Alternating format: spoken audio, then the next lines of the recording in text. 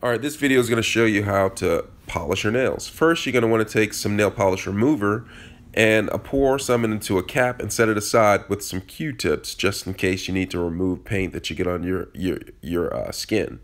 Next, you're going to apply a base coat.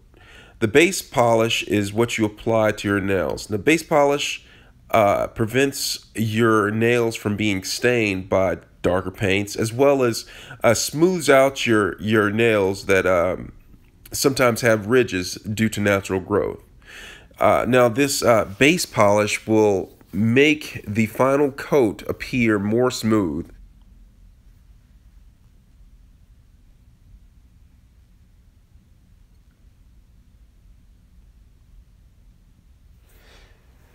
Now, pick a color that you like and you're going to apply this to your nails after you've applied the base polish. Now, this nail polish that you're putting on right here, uh, make sure you get it on evenly and don't paint your your skin. But if you do, you can take just the tip of your your clean nail and just scrape away uh, some of the polish that didn't go directly on your nail. It happens to everyone.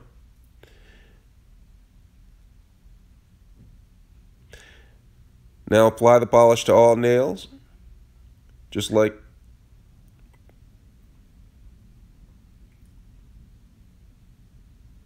and you're going to mess up. Now, it's perfectly normal. Just take your fingernail and scrape off uh, the unwanted nail polish from your skin and just get back to polishing.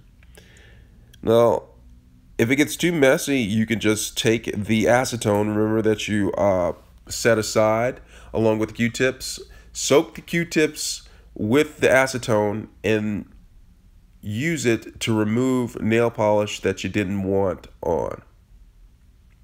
And then you get back to polishing your nails.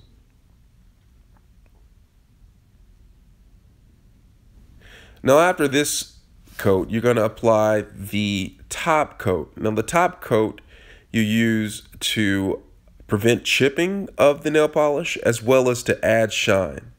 You're going to want to add this to all of your nails as well too.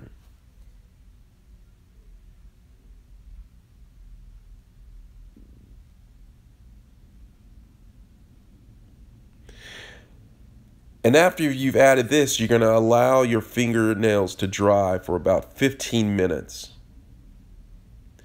And that's how you polish your nails.